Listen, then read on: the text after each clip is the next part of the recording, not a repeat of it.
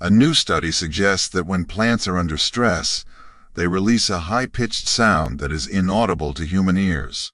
The research, published in the journal Science, provides the first evidence that plants produce ultrasonic sounds when they are damaged and that these sounds may help them to recover from stress. The study was conducted by a team of researchers from the University of Western Australia and the University of Cambridge.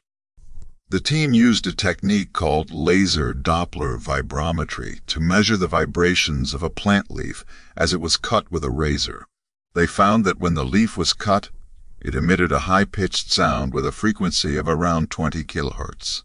The team then tested whether this sound had any effect on the plant's ability to recover from stress. They found that plants that were exposed to the sound of a cut leaf recovered from stress more quickly than plants that were not exposed to the sound.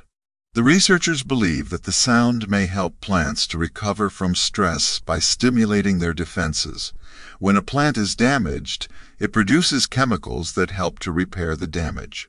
These chemicals can also be used to protect the plant from future stress. The sound of a cut leaf may help to trigger the production of these stress response chemicals, which can then help the plant to recover from stress more quickly. The sound may also help to alert other plants to the presence of stress so that they can prepare themselves for stress.